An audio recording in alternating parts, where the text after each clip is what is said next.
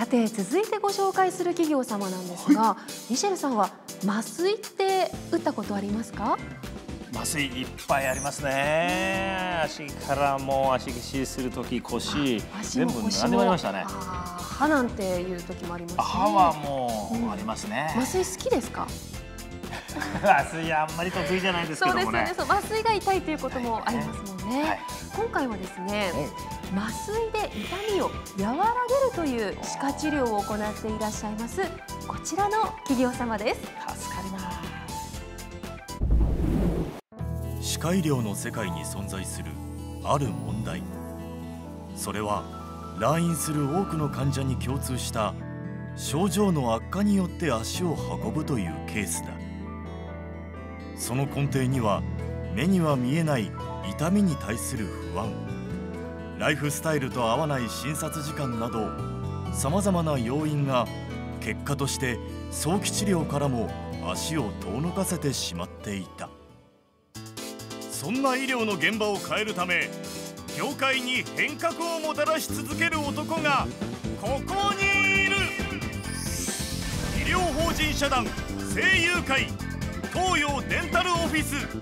院長本部雄一郎。2012年5月千葉県船橋市でスタートした東洋デンタルオフィスは歯科治療に抱かれやすいマイナスなイメージを覆す新たなデンタルオフィスとして患者が危惧する痛みを和らげ一人一人の口内健康を支え続けている。今回は歯科技術の総合商社本部雄一郎をスタジオに招き詳しく話を聞いた。一番最初に院長が歯医者さんになろうって思ったきっかけってどういったところだったんですか？そうですね。あのまあ僕自身医療職に就きたいとは昔から思っていたんですが、はい、えー、以前あの子供の頃ですね、まあ小学生の5、6年の頃だったと思うんですけれども、うん、歯がとても痛くなりまして。うんあのすぐ近くの歯医者さんにお願いをして治療をしていただいたんですが、まあ、自分がいけないことなんですけれどもやっぱりあの治療がやっぱかなり痛かったんですね。であの、まあ、ひどい虫歯は痛いというのはまあ仕方のないことだと思うんですけれどもやはりあのその時の経験から、まあ、これだけ痛い治療を、あのなるだけ痛くなくできたらば皆様に喜んでいただけるんではないかなと思いましてでその頃からあの、まあ、その時に必ずともう確かに決意できたわけではないと思うんですが。あのやっぱり歯科医院やってみてるのは面白いのかなと思って、うん、あのずっとこう考えてた結果今に至るという形でございます。小さい時の思いの実現だね。そうですね。東洋デンタルオフィスさんは、うん、痛みを和らげる治療を目指していらっしゃるということなんですが、はい、具体的にどういう治療法を行っていらっしゃるんでしょうか？はい、えー、まあ歯科の治療はあのすべからくやはり必ず麻酔が必要になると思います。うんえー、局所麻酔でやっぱりあの歯を削って治療していくんですけれども、うん、その時にあのやはりいつも思っていたことなんですがあのやっぱ注射をされることというのが非常にやはりあの怖いですしやはり痛いですし、うん、あの自分自身もやっぱりやられたら嫌なことだったんですね。同時にそのその麻酔をなるだけ痛くなくすることができれば、うん、あの歯科の治療というのはあの格段に痛くなくできるはずだと思っておりまして。であの歯科医に、まあ、運よく慣れてからもですねあのずっとどういった方法なら痛くないのかを考えていたんですけれどもいろいろ調べていくうちに、まあ、こちらに今出していただいてますけれども、はい、あの一番奥のアネジェクトというのが、はい、まずこれが電動の注射器なんですね。はいこれはあの結構いろいろな歯医者さんでもよく使われていて、注射圧をコントロールできるあのものなんです。注射圧をコントロールする。はい。えー、よく自分が考えますに、あの注射の痛みというのは、あの二種類の痛みがあると思っておりまして、はい、まずはその針を刺す時の痛み、はい、ありますね。ありますよね。で刺される時はやっぱチクッと痛いと、これがまず第一なんですが、これを和らげるために、まずあの第一にこのぬる麻酔というのを使うんですね。あこちらですか？はい、まず最初にこのぬる麻酔というのを使わせていただいて、でぬる麻酔を使って今まではこの電動注射器で麻酔をするという方法がまあ一般的だったんです。電動注射器はあの今申し上げた通り注射圧をコントロールできますので2つ目の私の考える痛み圧力が強くなって痛いということがあのやっぱり注射している時にはあったりするんですけれどもそれがこの電動注射器でやればあのオートマティックに圧力をコントロールしてくれるのであの起こらないということなんですね。ただですね、この方法は今までもよくやられている方法なんです。で自分がただ考えた時にこのぬるま水をやって針を刺す時にやっぱりその何度も痛みが出てしまったことがありまして、そこもなんとか痛みをあの消せないものかと考えたんですね。でその時に最近よくあの、まあ、使わせていただいているのはこのシリジェットというあの機械になりまして。あこっちの方が新しいですか？はいあの今。こちらがその今うちでよく使っているシリジェットというものになるんですねこれはちょっと重たいですね。はいかなり重いものになります。これ重たいぞ。あ重量感がありますね。ねかなりだから扱うのもやっぱり男性でないとなかなか扱いづらいものなのかなと思うんですけれどもあのこの機械はですね、うん、あの今申し上げましたこのぬるま水を塗って注射をするという形のやり方までやったんですが、結構今使われてるあのものなんですけれども、ただそのその時ちょっと伺いたかったのは、やっぱり注射する時ちょっとチクッとすることがやっぱりあると思うんですよね。はい、痛かったです。ね、来るよね。自分もやっぱりやられてそういう経験があったので、うん、あのこれが悪いというわけではないんですが、うん、やっぱりあの注射を刺す時の痛みってなかなか消しづらい、うん、あのということが実感として思っていたのでそれでこうこのシリジェットという道具を使うようになりました。この道具はですね、はい、あのこの先にこう今小さな穴が開いていまして、ね、この小さな穴があの蚊の針と同じ直径の穴なんですよ。あの蚊です。モスキーですね、蚊と同じの針と同じ直径の穴が開いてまして、麻酔薬をですねあの噴射してここからあのその直径のあの細いところから吹き出すんです。そうするとその蚊の針と同じ直径の穴があの歯茎にこう粘膜にあの開くわけなんですけども当然その蚊に刺されても痛くないですよね。痛くないですね、はい、でこれで刺されても要は痛くないのでこれをやった上にこれで噴射式の麻酔をやった後にさらに注射圧をコントロールする電動注射器で麻酔をする。この三段階式みんな使うんだ。はい、なるほど使ってやっておりまして、これがうちの東洋デンタルオフィス式の無痛麻酔というやり方になります。現在千葉県内にある歯科医院でシリジェットを使用しているのはごくわずか。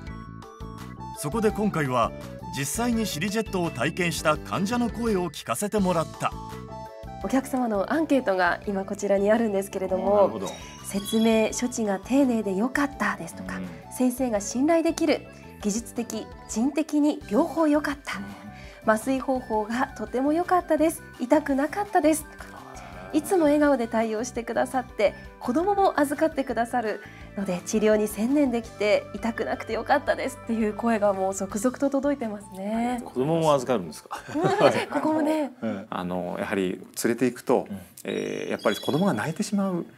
ということが、あの非常にこうみんなにもちょっとこうあの申し訳ない気持ちになられたりですとか、自分がやっぱりそうするとハラハラしてゆっくり治療が受けれないですとかあると思うんですが。あの当院では個室をまずご用意しておりまして、うんうん、その個室に入っていただくと例えばいくら泣いていただいても周りには聞こえないですしあそうなんです、はいでその時にさらにその保育経験の豊富なスタッフが、あのお子様その例えば泣き出したらあやしてあげたりですとか、あとあの例えばどうしても抱っこ紐とかあのそれであの自分でこう抱っこしてないとあのいけないような状況でいらっしゃる方もいらっしゃるんですけれども、あのうちのスタッフが抱っこしながら見させていただいたりですとか、はい、そういう形であの必ずあの面倒を見させていただきつつ、ね、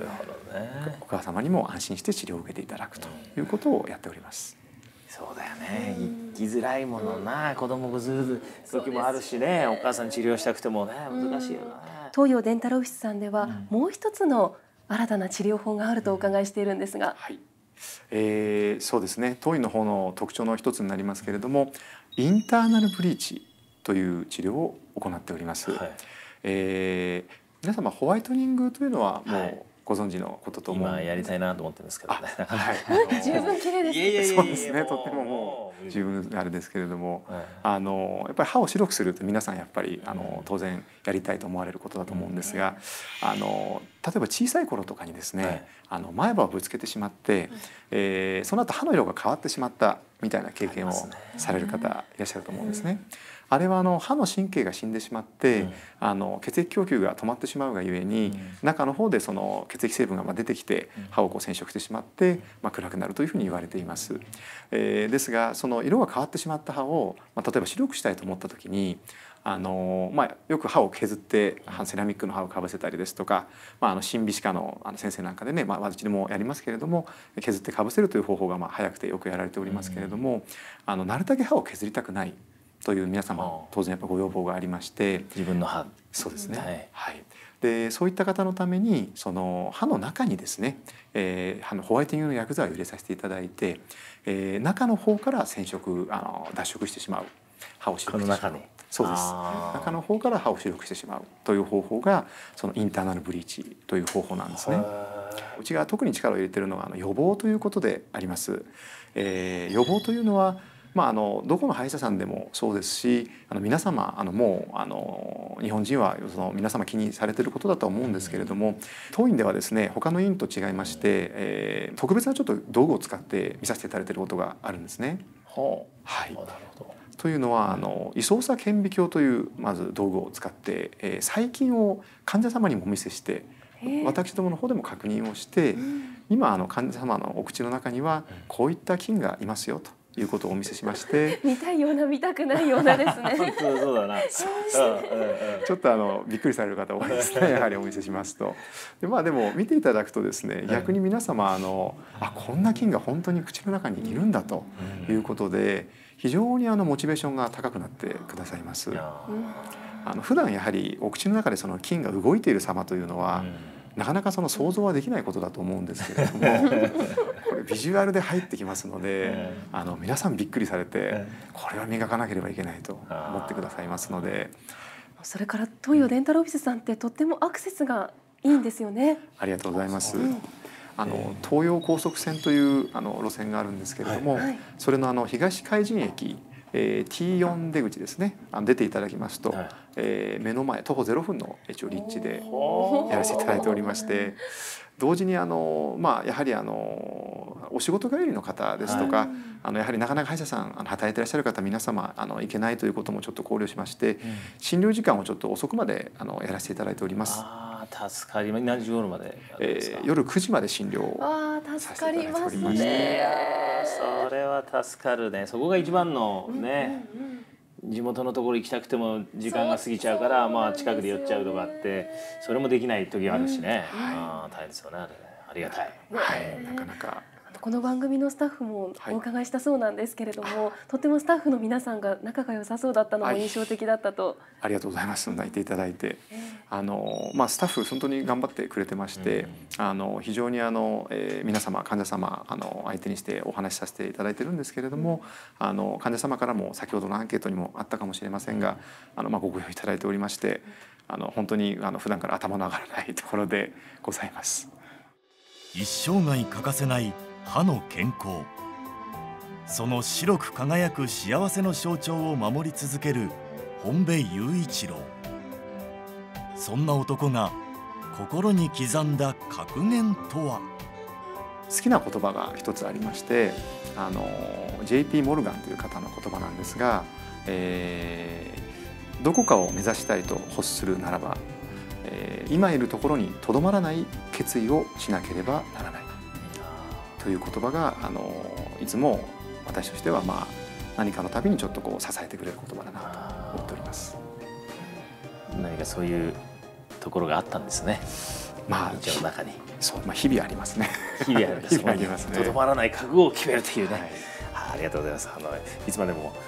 あの、患者様第一でね。先生からもう醸し出すものがそうだから、うん、そういう気持ちで今後ともよろしくお願いします。よろしくお願いします。ありがとうございました。ありがとうございました。